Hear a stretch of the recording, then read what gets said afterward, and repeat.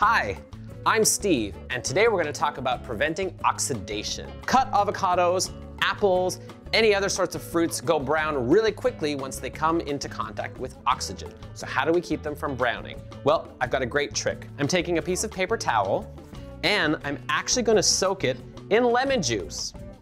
That acid will help to prevent the oxidation as well as the fact that the damp paper towel can mold itself to the actual shape of whatever it is we're trying to cover.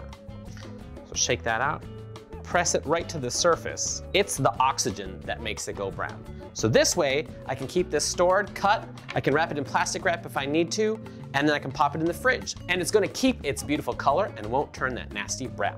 This works great for avocados and apples too. And that's just the tip. I hope that helped. Like, subscribe, and comment below. Let me know, what tips do you need?